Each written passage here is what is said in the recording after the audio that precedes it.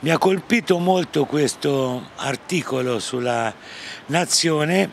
inerente alla pubblicazione di un post da parte di un eh, docente universitario di Siena che praticamente eh, cerca di spiegare perché Hitler poi non fosse quel mostro che era in quanto eh, si era proposto di sterminare coloro che ora comandano il mondo e che ci opprimono. La cosa naturalmente all'inizio non tanto perché il rettore dell'università ha, detto, ha espresso una cosa sua e il eh, pensiero è veramente pesante e brutto, però mi è piaciuto anche leggere un altro articolo che è più in basso, che parla di questo paese, inteso come l'Italia, che non ha mai fatto i conti sul serio con il fascismo. Io aggiungerei di più, l'Italia non ha mai fatto i conti con la della, con la vera nascita della democrazia. Perché? Perché quando è finita l'ultima guerra mondiale, i crimini dei nazisti sono stati giudicati da un tribunale internazionale che eh, poi ha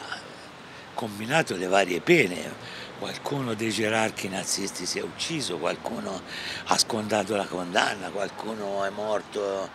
qualcuno è fuggito, poi l'hanno ribeccato tramite il Mossad israeliano. In Italia che cosa è accaduto invece? In Italia è accaduto che Benito Mussolini, che era il capo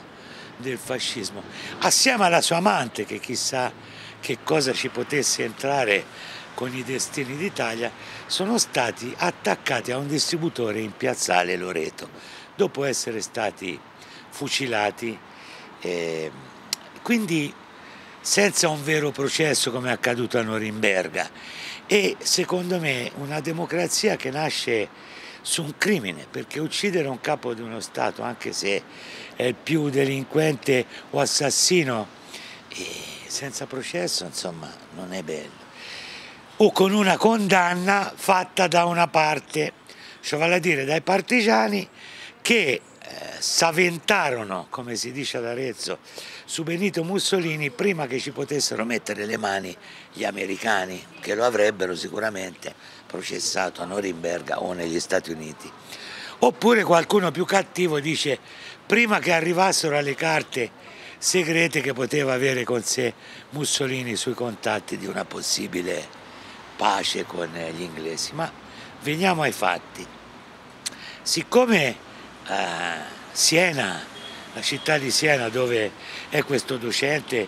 eh, si è dette esterefatte dove da Siena partono dei pullman giustamente per andare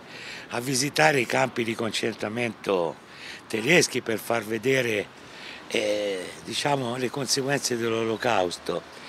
Io vorrei che quei pullman al ritorno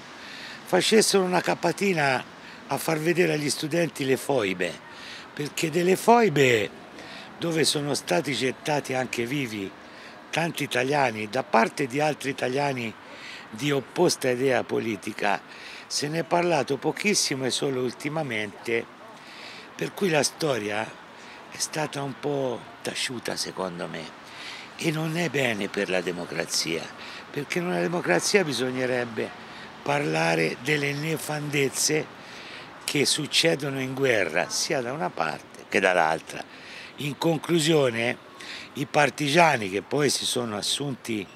le loro responsabilità sono anche quelli, per esempio della brigata Garibaldi, che hanno ucciso i compagni della brigata Osoppo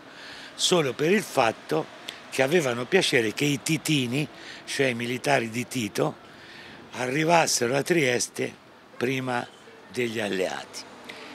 E se questa è democrazia, io sinceramente non ci credo molto. Buona giornata.